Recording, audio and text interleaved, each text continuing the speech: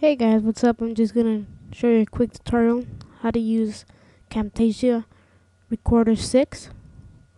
So we just pop it open and we go to statistics and when you're recording this is how many frames you are doing right now and the frame rate and the length of your video while recording. And a couple neat things here. You can screen draw or add a marker. I don't really know what that is you could cursor effects. You could highlight the cursor or highlight the clicks. Example if I click it and I click it highlights. So now when I take it off it doesn't anymore. And you can restart your recording. You can pause it. You could stop it. And then after you stop you sorry it previews. So now let's go to audio.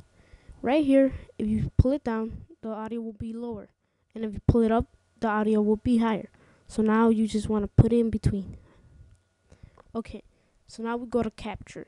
You can either stop or delete your video you're recording. I guess that's what it means. Or start recording or select an area to record or lock to an application. record camera, this setting, it'll record if you have a webcam, it'll record that too. So now we go to effect, we go animation. Um, we'll catch to that later on another tutorial. So we go to sound.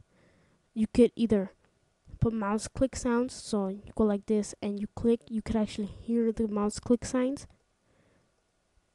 So now we go to effects sound. We just get that off.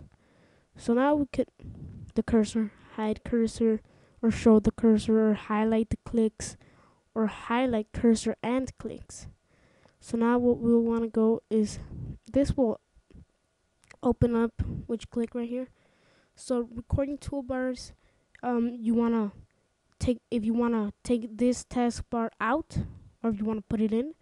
Camera toolbar, you can only use that when you're recording the camera. So now statistics is right here. So if you want to open that up too, go ahead. Um, effects toolbar, um, that's right here. So if you want to leave that open, that's okay.